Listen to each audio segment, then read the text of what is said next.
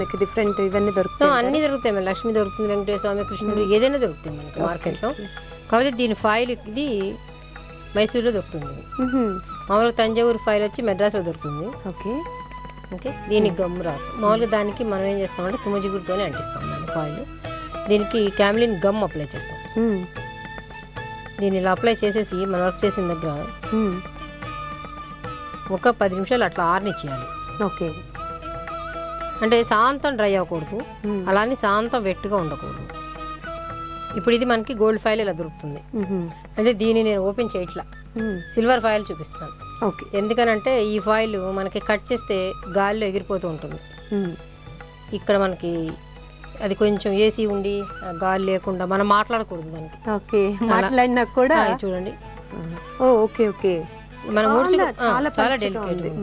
ఇలా ముడుచుకుపోతుంది అనమాట మనం మాట్లాడు దగ్గరగా మాట్లాడుతుంటే చిరిగిపోతుంది ఓకే. అందుకని ఇది చాలా మాట్లాడకుండా సెన్సిటివ్గా చేసుకోవాల్సిన వర్క్. ఇది ఇలా షీట్ రెండు షీట్స్ మధ్యలో ఉంటుంది. అయితే దీన్ని పేపర్ మీద ఇస్తారు మనకి. ఇది ఉంది కదా. దీన్ని మనం దీని పేపర్తో సహా కట్ చేసుకోవాలి. ఓకే. మనకి ఎంత సైజ్లో కావాలో ఆ సైజ్లో with సైజ్ గురించి కాదు. పక్క పక్కన అంటించుకుంటూ వెళ్ళటమే. మామూలుగా తాంజూర్ అంటే ఫాయిల్ ఇలా పెట్టేసి ప్రెస్ చేస్తాం. దీనికి ప్రెస్సింగ్ అంతా ఈ పేపరే. ఓకే. చాలా జాగ్రత్తగా చేసుకోవాలి. ఓపిక కావాలి దీనికి. చూడండి ఇలా చిరిగిపోతుంది. అవునవును. మళ్ళీ చేత్తో తీసుకోలేము అనమాట ఈ పేపర్ బ్రష్ సహాయంతో తీసుకోవాలి. ఓకే. ఇంత కష్టపడి ఎందుకు చేయాలి మేడం అంటే అది దాని దానికి ఇంకా మన రీజన్ చెప్పలేము అనమాట ఎట్లయినా ఆ రిచ్నెస్ వేరు కదండి. రిచ్నెస్ వేరు. ఇప్పుడు ఇదే పెయింటింగ్ని మనం బయట మార్కెట్లో కొంటే చాలా మార్కెట్లో మీకు ఇది చాలా రేర్గా దొరుకుతుందండి ఈ వర్క్. తాంజూర్ పెయింటింగ్ చాలా మంది చేస్తున్నారు కానీ మైసూర్ పెయింటింగ్ రేర్ చాలా రేర్గా దొరుకుతుంది. మీకు తర్వాత ప్లెయిన్ బ్రష్ కొంచెం ఆరిన తర్వాత ప్లెయిన్ బ్రష్ తీసుకుని సైడ్ పట్టుకుని ఇలా అనేస్తాం ఓకే అప్పుడు ఆ కింద ఏదైతే మీరు ఇవి ఇచ్చారో ఎఫెక్ట్స్ ఆ, బయటకు వస్తాయి. ఓకే బయట సైడ్కి వచ్చిన ఎక్సెస్ అన్ని తర్వాత తర్వాత క్లీన్గా నీట్గా తీసేసుకుంటాం. బ్లేడ్తో కానీ బ్రష్తో కానీ. తీసేసుకుంటాం. ఇలా కొంచెం ఇలా ఇలా అన్న కూడా వచ్చేసినట్లుంది. ఇది ఆరిపోతే అంతగా రాదు. ఇక్కడ ఏంటంటే ముడుచుకుపోలేదు కాబట్టి కరెక్ట్ కింద ఇంప్రెషన్స్ బాగా కనిపిస్తున్నాయి. దీంతో అలానే పేపర్ని అలా ఇంకా మీకు ఇంకా ఉంటుంది. బార్డర్ ఏదైతే ఉందో దాన్ని మొత్తం అదంతా కూడాను ఈ గోల్డ్ ఫాయిల్ తోటి అంటించుకోవాలి. ఓకే సేమ్ ఈ నగలకు కూడా మీరు అదే ఇస్తారండి? సేమ్ మొత్తం టోటల్ ఏంటంటే కింద ఆల్రెడీ ఇంప్రెషన్స్ ఉన్నాయి కాబట్టి బాగా ఇది గోల్డ్ దానికి అంటుకున్న తర్వాత ఎఫెక్ట్ అనేది బాగా తెలుస్తుంది. బాగా తెలుస్తుంది. అయితే మనం ఏం చేయాలంటే దీనికి వర్క్ హెవీగా చేయకూడదు. చాలా లైట్గా చేసుకోవాలి. ఓకే. ఏ గగులు గగులుగా ఉందనుకోండి గరుకు చేతికి తగిలేటట్టు ఉంటే కనుక మీకు ఫైల్ దాంట్లో కూర్చోదు. ఓకే. ఎంత సాఫ్ట్గా ఉంటే మైసూర్ ఫైల్ మైసూర్ వర్క్ అంత నీట్గా ఉంటుంది. సో ఇది ఫస్ట్ ఈ గోల్డ్ ఫాయిల్తో మొత్తం ఇదంతా ఎక్కడైతే ఈ ఆల్రెడీ ఇచ్చేసి ఉన్నారు మీరు. ఆ ఇంప్రెషన్స్ మొత్తం అంటించిన తర్వాత కలరింగ్ చేసుకోవాలి. తర్వాత కలరింగ్ చేసుకోవాలి. Okay okay. Tanjore ten thousand sale చేస్తే దీన్ని ఫిఫ్టీన్ థౌసండ్ కల్లా వెళ్తుంది. ఓకే.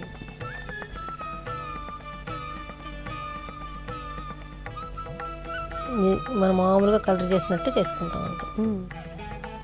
జస్ట్ ఇలా మనం షేడ్ చేస్తాం. దానికి ఆరెంజ్కి ఎల్లో జస్ట్ షేడ్ చేస్తున్నాం మనకి కలర్స్ న్యాచురల్ కలర్స్లో కూడా షేడ్ చేసుకోవచ్చు అని చూపించడం కోసం కొంచెం చేసి చూపిస్తున్నాం. బ్యాక్గ్రౌండ్ ఆ, ఆరెంజ్ ఇచ్చారు కాబట్టి గ్రీన్ గ్రీన్ అయితే బాగుంటుంది.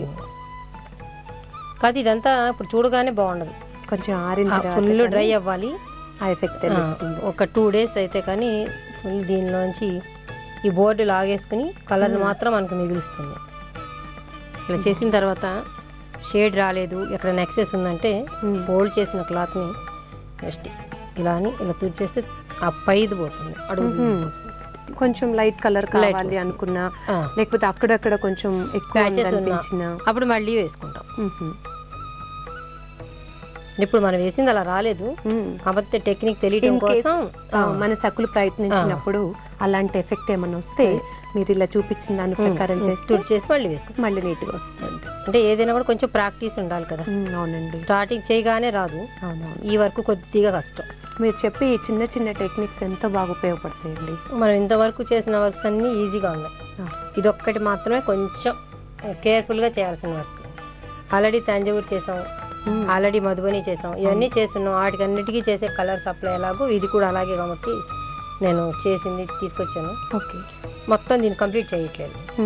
ఈ ఫైల్ కంప్లీట్ చేయాలంటే మన ఇద్దరం మాట్లాడుకోకుండా ఉండాలి. అవును.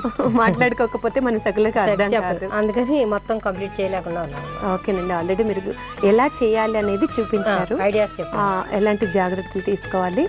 అలాగే కలర్స్ వేసేటప్పుడు ఆ, ఆ ఎఫెక్ట్స్ ఎలా ఉంటాయి?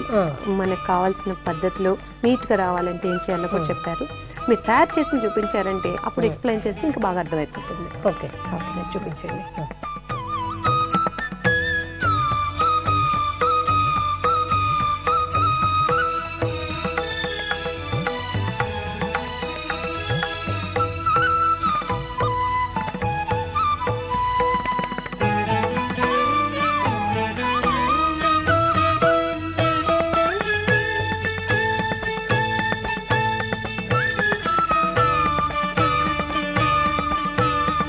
మనం ఫైల్ మామూలుగా తంజావూరుకి ఫైల్ అంటించిన దానికి దీనికి తేడా ఉంటుంది. డౌన్గా ఉంది కదా? ఇప్పుడు మనం అంటించినట్టే ఉంది కదా? ఆ గోల్డ్ అంతా తర్వాత అంతా నీట్గా చుట్టూ క్లీన్ చేసేసుకుంటాం అనమాట. ఈ background indigo colour natural colour. Okay. అయితే ఇప్పుడు ఏం చేస్తున్నారంటే న్యాచురల్ కలర్స్ తయారు చేసుకుని కలర్ చేయడం ఎందుకని చెప్పి కొంతమంది పోస్టర్ కలర్స్ వాడేస్తున్నారు. ఇంకా దానికి మనం చెప్పేది ఏముండదు ఓకే. అసలు న్యాచురల్గా చేయాల్సిన విధానం అయితే ఇదనమాట న్యాచురల్ కలర్స్తో చేయాలనుకున్న వాళ్ళకి అసలు చెయ్యాలి అనుకోవటం కాదు. అసలు కంపల్సరీ మైసూర్ పెయింటింగ్ అంటే న్యాచురల్ కలర్స్ తోటే. చేయాలి. ఓకే. అయితే ఈ Tanjore painting Mysore painting almost ఒకసారి వచ్చి ఉండొచ్చు. కాకపోతే ఏంటంటే దీన్ని అందరూ డెవలప్ చేయలేకపోతున్నారు ఎక్కువగా. ఎందుకంటే దాని టెక్నిక్స్ అనే లేకపోతే చేయటం కష్టమనా? ఈ ఫాయిల్ అంటించడం కష్టం కదా. అంత శ్రమపడి గాలి పీల్చకుండా ఏసీలో కూర్చుని చేయాలి కదా. అందుకోసం ఎందుకులే మనకి ఇది? అని చెప్పి అంత తాంజూరు మీద పడిపోయారు. కానీ అది కానీ అంత ఓపిక చేస్తే మాత్రం దీని అందం దేనికి రాదు కదండి. రాదు. ఎందుకంటే ఓల్డ్ ఈజ్ గోల్డ్ అన్నట్లు యాంటిక్ పీస్ యాంటిక్ పీస్ అంతేనండి. ఫాయిలే రేట్ ఎక్కువ కానీ మిగతా న్యాచురల్ కలర్స్ రేట్ తక్కువే కదా మీరు అన్నట్లు? రేట్ గురించి కూడా ఎవరు కేర్ అవునా? ఇది చేయడం అంటించడం శ్రమగా అనిపిస్తుంది కానీ అది కానీ చేస్తే మాత్రం ఇంత రిచ్నెస్ అనేది ఇంకా ఏ పెయింటింగ్కి రాదు. రాదు. కాబట్టి తప్పకుండా మన సకులకి ఈక్వల్ తాంజూర్ తోటి ఈక్వల్ అవుతుంది. మైసూర్ మన సకులకు అంత ఓపిక ఉందండి. ఎందుకంటే అంతకంటే ఎక్కువే చేయగలరు. చేయగలరు. ఇంత మంచి ఐటమ్ని మన సకులకు నేర్పించారండి. Thank you very much Suhasini గారు. వెల్కమ్ జయ. ఈ అవకాశం ఇచ్చిన ఈ టీవీ టూ సఖి వారికి ధన్యవాదాలు. వెల్కమ్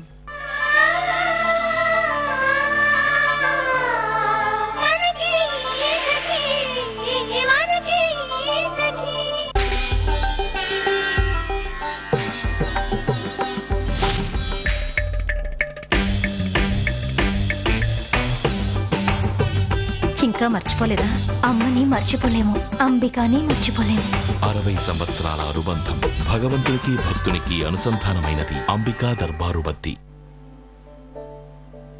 ఇక మీకు నీటిని కాచే బెడద నుంచి విముక్తి.